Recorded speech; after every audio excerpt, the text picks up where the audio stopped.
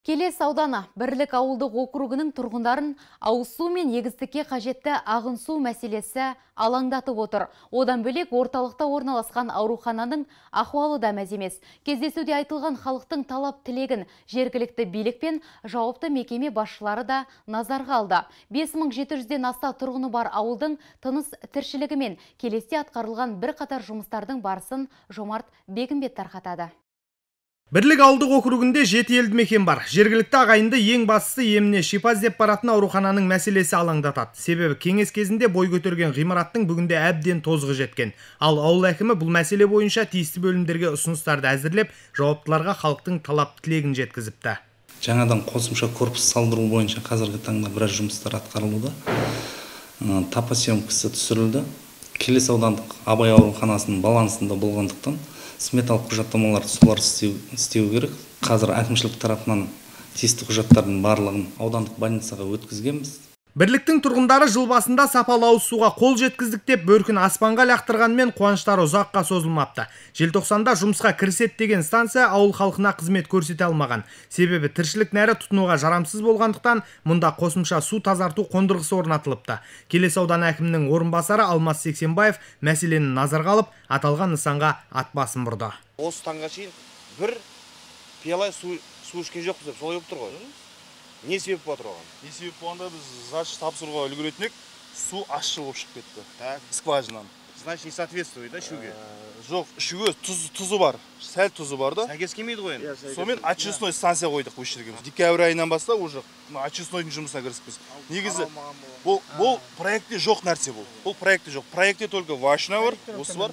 осымен прямой ауылға су айдаймыз деген. Оны біз бітіріп қойғанбыз декабрьге дейін бітіріп қойғанбыз. Енді су шығып жатыр құмсыз таза су шығып жатыр қашаннан бастап айдайсыздар бүгіннен бастап айдайсыздар ма жетпіс сексен процент суды ағызсын. Полный циркуляция болады ғой. Сол кезде скважина тоқтамайды. Сол кезде құм жатып қалмайды Айта кетейік, бірліктің әкімі бұрынғыдай тағайындаумен емес, халықтың таңдауымен сайланған. Сондықтан ауыл қариялары мен ел азаматтары да жаңа басшыға сенім артады. Тиісінше қоғамдық кеңестің ұсынысымен ауылдағы бірқатар мәселелер шешімін табуда. Ақсақалдар кеңесімен ақылдаса отырып, мына қаржыны мына жаққа, мына қаржыны мына жаққа жұмсаймыз деп. Өздерімен ақылдасып өздерінің ұсыныс пікірлерін тыңдай отырып сметалық құжаттамалар істетіп орындаймыз. Қазіргі таңда мына өткізілген жангелдин көшесі мен жаңа құрылыс көшесін асфальттандыру орталық көше тұрғын үй коммуналдық шаруашылық және жолдар бөліміне өткізіп қойғанбыз. Биыл істеледі. Төрт көше тас төсеу. Бірлік елді мекенінен шұғыла қажымұқан жаңа тіршіліктен келес үшағаштан тәжібаев көшесі. Төрт елді мекенге тас төсеу жұмыстары жүргізіледі. Бұдан бөлек қазіргі таңда жобалық сметалық құжаттамаларды дайындап қойғанбыз. Мына бірлік шардара трассасының жағасына жарықтандыру шамдарын орнатсақ деген оның да жобалық сметалық құжаттамаларын әзірлегенбіз. Мына жангелдин көшесіне аяқ жол тротуар салсақ оның да жобалық сметалық құжаттамасы дайын. Әуезов көшесі мына кіреберістегі орталық көшелерінен аяқ жолдар салу бойынша жобалық сметалық құжаттамалар әзірленген. Жалпы ауыл тұрғындары егіндегі еңбегімен еңсесін тіктеп отыр. Сондықтан шаруаларға ағын судың мәселесі өзекті. Ал бірлік пен жаңа тіршілік ауылдары саңырау каналының соңғы тұсында орналасқандықтан жылда қиындыққа тап болады. Биыл бұл бағытқа тиісті көлемде су жеткізу үшін арнайы жобалар әзірленуде. Саңырау каналы ошақты магистралды каналынан бастау алады. Ары қарай бірлікке дейін барады. Ол жерде екі ауыл округтың арасынан өткендіктен өте ұзын болғандықтан су тапшылығы шілде айларында орын алуда. Сол су тапшылығын болдырмау мақсатында бірқатар жұмыстар атқарылып жатыр.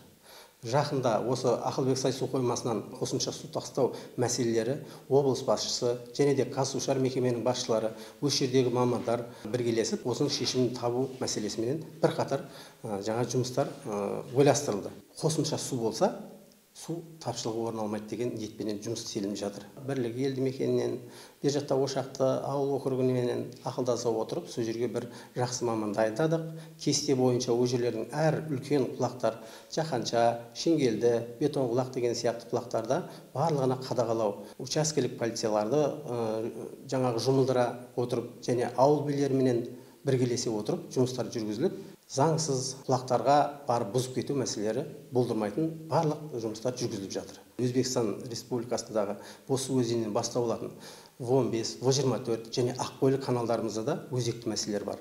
Ол келіссөздер арқасында арқылы ол мәселелер шешіліп жатыр. Шекаралық аймақ өзбекстаннан келеді бастау алып жаңағы в он бес в жиырма төрт ақкөлік каналдар.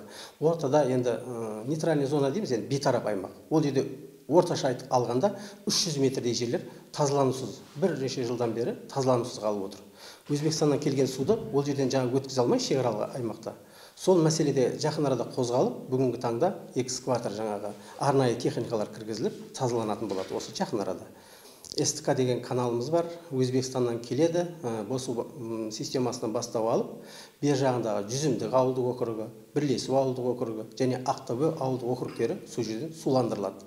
Ол стк каналы бізге жаңағы жүзімдік елді мекеннен кіріп ақтөбе ауылдық округінен қайтып өзбекстанға кіріп кетеді. Он тоғызда екі шақырым жерді біздің бізді қазақстаннан өтеді.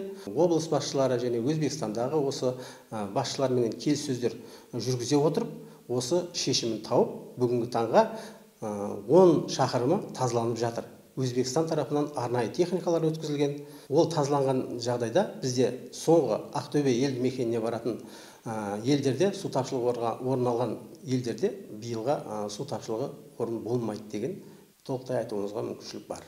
Биыл келес аудандағы 14 қашыртқы мен 17 каналға механикалық тазарту жүргізілсе бір гидроқұрылымға жөндеу жұмыстары атқарылып 6569 гектарға су беру мүмкіншілігі жақсармақ. Сондай ақ 217 гектар жер қайта айналымға қосылады. Жомарт бегімбет ақжол рахманқұлов айғақ телеарнасының жаңалықтар қызметі.